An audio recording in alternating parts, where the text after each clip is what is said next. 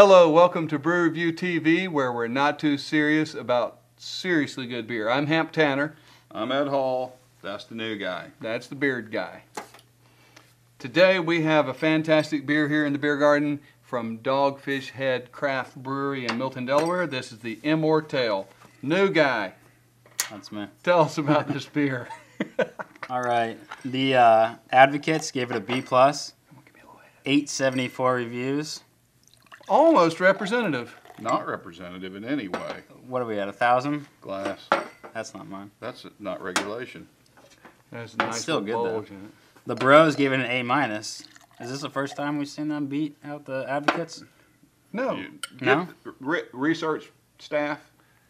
Research that. no, no. The please. Bros, we had two today where they gave an A plus, and oh. you're never going to get I the wasn't advocates to average an A plus because you got too many outliers. You got too many dings in there. Yeah, dang man, I didn't like anything. No. He's I like not this giving anything an A plus.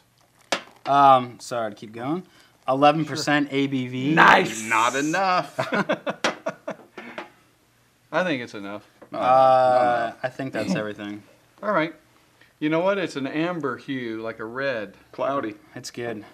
It's got a funky smell, Ooh. kind of. smells like toe jam a little bit. Am I right? Anyone? You know I, what? I think it's the glasses. Definitely the glasses. Yeah.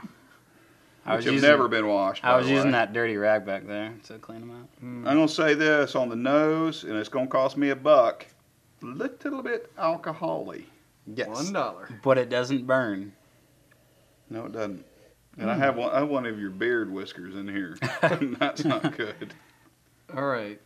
Now here we go. That will scratch the esophagus on the way down.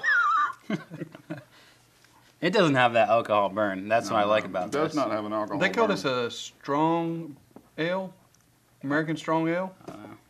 Yeah, American You're right. Strong It doesn't. Ale, It doesn't have a burn at all. like you would expect with the 11%. It's very smooth and kind of uh, malty, a little nutty or I'm- malty or something. I'm gonna say uh, there's some apr- apricot in there. Yeah. No, there isn't. Yeah, um. I'll read to you what's Yeah, in there. there- there- yeah, actually, there's No. No, there's not. All right, scratch it. Yeah. Scratch apricots. Uh, there's actually a lot going on.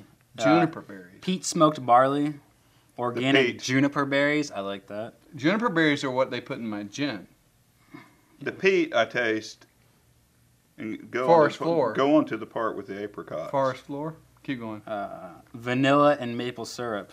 That's Yes. actually in there. Yes. Yes, Yeah? I, I agree with that. Aged in oak. Boy, and the flavor- fermented the with a flavors are blend of English and Belgian through. yeast. Belgian yeast. What about the apricots?